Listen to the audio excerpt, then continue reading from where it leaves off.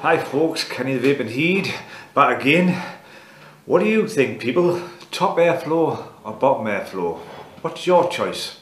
Let's find out after the intro. Yeah.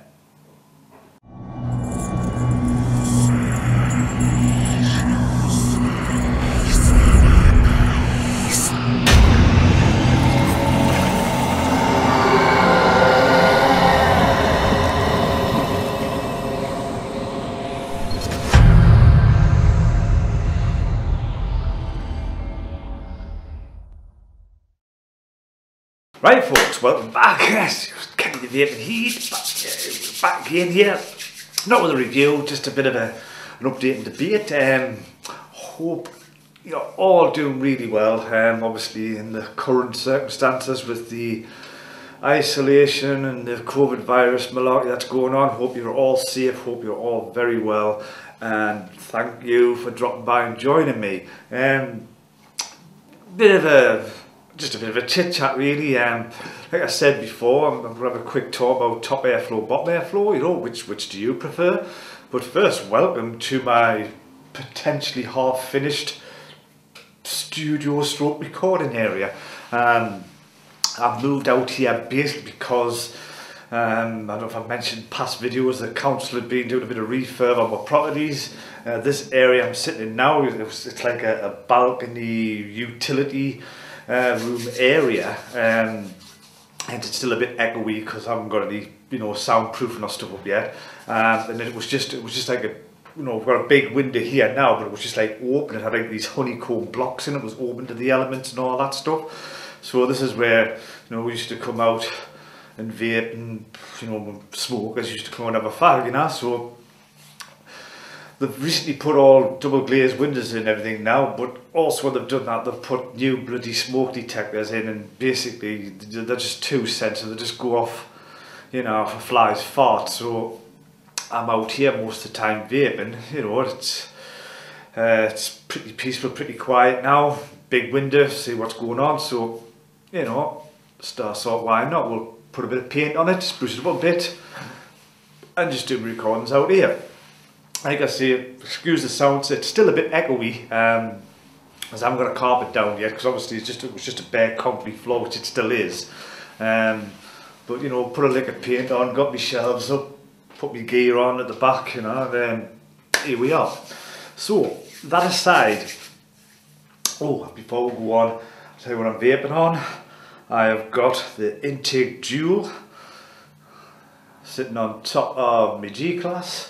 I'm currently vaping on the old Cherry Cake Dodgers by Buddha Vapes, but I'm also trying, and which I must say is bloody nice, is Yellow Mess as well.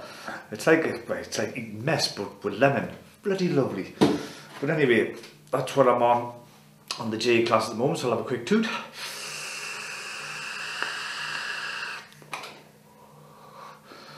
God, that's good. I love this stuff. But anyway, top airflow tanks or bottom airflow tanks? What's your preference? Personally, I'm heading towards top airflow. Um, basically because they are getting better.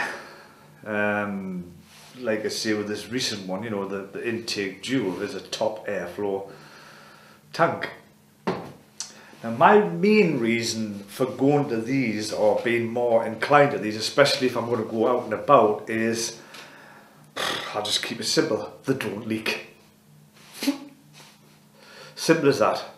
But you know, you can do out you like with them, shake them about anything, not an absolute drop of liquid comes out of them, not a drop. Bottom airflow, on the other hand, with my experience, 99% of them tend to leak. Not um, because of bad wicking or anything like that, just if you just leave them standing, um, you'll pick it up and it'll have crap in the airflow, you know, it'll have juice in the airflow.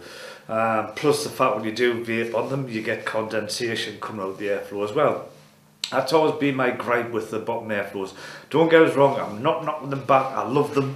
As you can see behind us, I've got plenty bottom airflows, but I'm kind of inclined to go with the top airflows. Um, basically because the technology is getting better. It's as simple as that. I mean, the one that I first started with, I just find them, which these were the guys who first, in my opinion, first cracked it.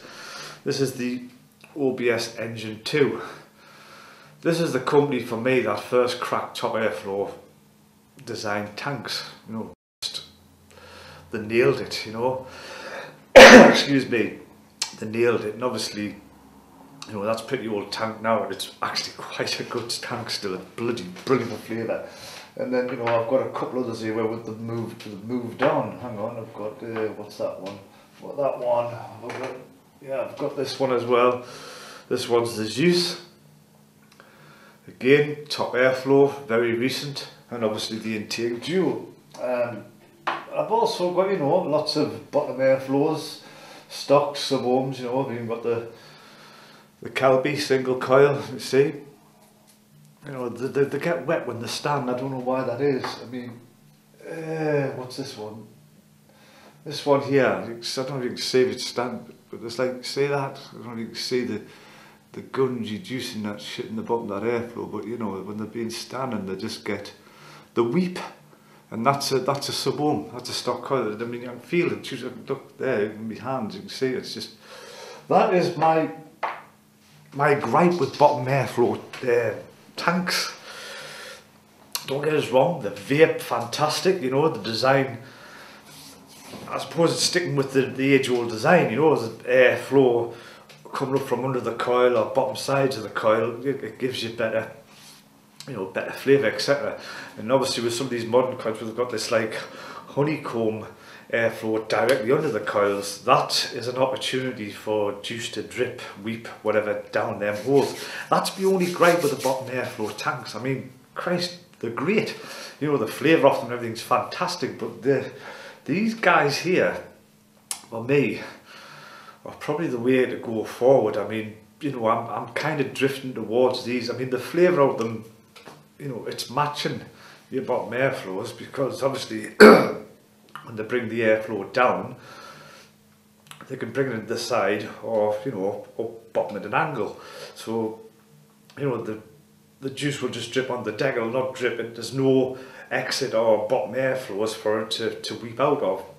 And this is why I'm tending to go towards these, um, especially if I'm out and about, you know, if you put it in a pocket or inside pocket, you know, there's, there's no way that's going to leak in your pocket. Um, even condensation, you know, there's, there's just very, there's very, there isn't, there's nothing. You know what I mean? It's absolutely jack shit.